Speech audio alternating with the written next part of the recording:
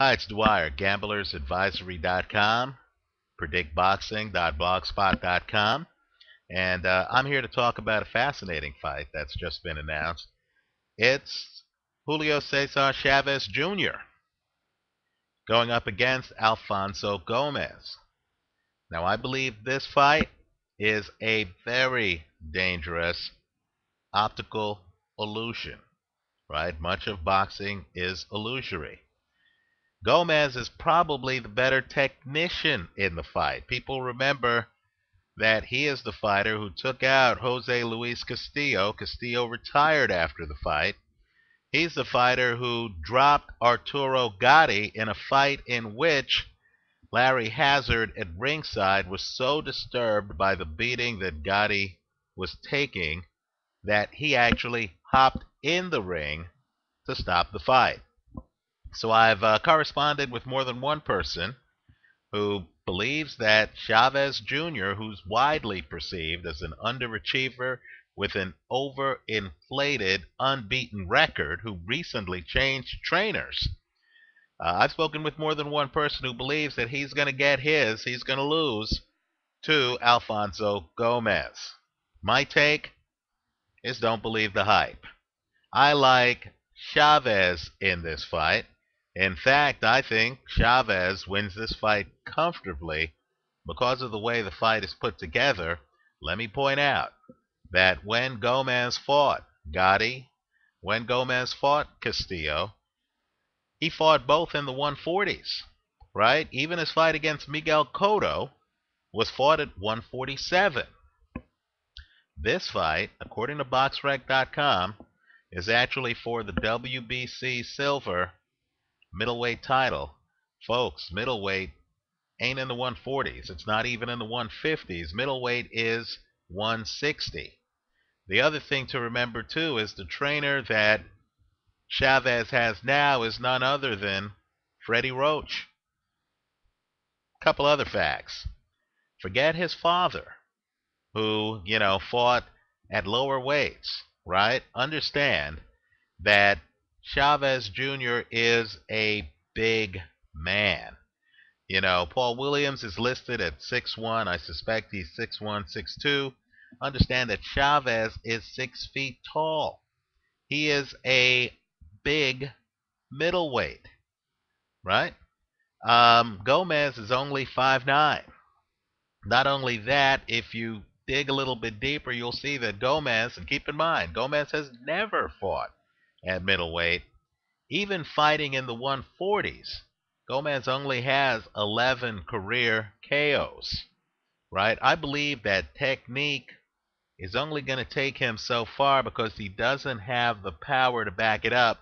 And he's in against a guy in Chavez who is bigger, who is stronger.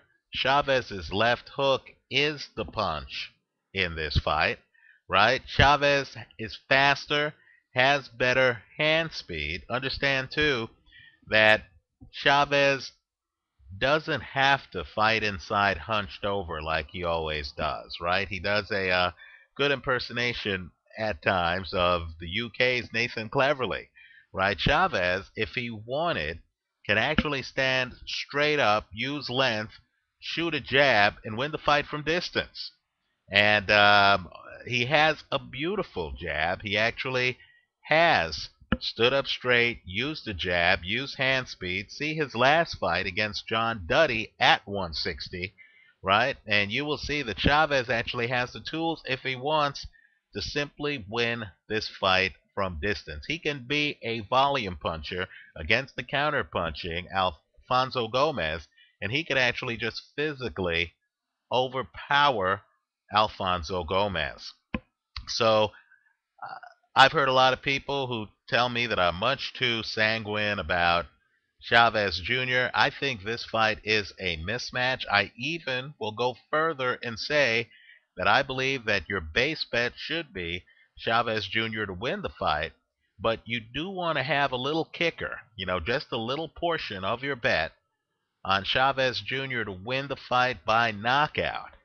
Because understand, Cotto was able to stop Gomez at 147, and Cotto punching at 147, in my opinion, doesn't equate. In fact, it's less than Chavez Jr.'s left hook at 160. Don't believe the hype. Maybe Chavez Jr. didn't train properly and didn't take his career seriously until now. But I believe Chavez Jr. is ahead of Alfonso Gomez, and I think he's the one with more power in this fight. Let me also ask a simple question. John Duddy at 160, and I know Chavez beat him in the last fight, but let me hear from you, the viewer. Do you really believe that Alfonso Gomez, who hasn't fought at 160, would beat John Duddy? I don't think so. And Chavez Jr. beat John Duddy handily. So, to sum up, my base bet on this one is actually Chavez Jr. to win the fight. With a little kicker, depends on your risk tolerance, depends on how you want to structure the bet. With a kicker, it could be just the anticipated winnings of Chavez Jr. to win, you know, thrown on uh, Chavez Jr. to win by knockout. But I do feel that you want some exposure to the prop of Chavez Jr. to win by knockout. Because understand, if he comes in and if he dazes Alfonso Gomez, he's the bigger man. He has the hand speed. He'll be able to then take a step inside and close the show. I like Chavez Jr. to win this fight. That's my base. Chavez Jr. by knockout is my kicker. Um, all I can say about Alfonso Gomez, and I know I'm going to get emails about how Alfonso Gomez might gain weight between the weigh-in and a fight and things like that. All I can say is he is a brave man. He is a technician, but he's fighting out of weight class on this one. Also, let's talk about the politics real quick. Understand that Chavez Jr., you know, uh, people like Oscar De La Hoya have actually commented on the boxing rumor that Chavez Jr. is a free agent, right? Um, Chavez Jr. is fighting under top rank right now. Apparently, Golden Boy might also be interested in his services. Chavez Jr. has given comments to interviewers that uh, he himself believes he's a free agent. I know Bob Arum, the head of Top Rank, believes that he has Chavez Jr. for the next two years under contract.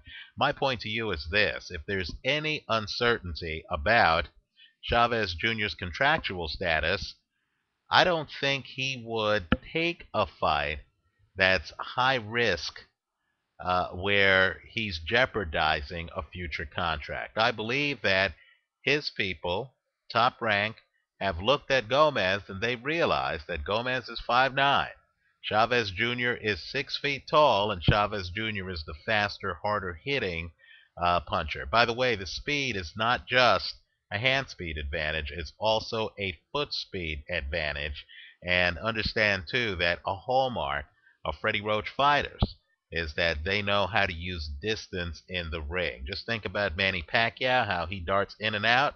Think about Amir Khan, how he darts in and out. Take a look at Amir Khan's fight against Andre Kotelnik. I thought Kotelnik beat Devon Alexander, but I do believe that Amir Khan, again from distance, beat Andre Kotelnik. Understand that a counterpuncher will have problems with volume and length and that's exactly the hurdle that Alfonso Gomez is facing in this fight. I like Chavez Jr. Let me know what you think. Leave your comments for me here on YouTube. Visit us at gamblersadvisory.com. And note that we also have a page on Facebook entitled gamblersadvisory.com. Thanks for watching.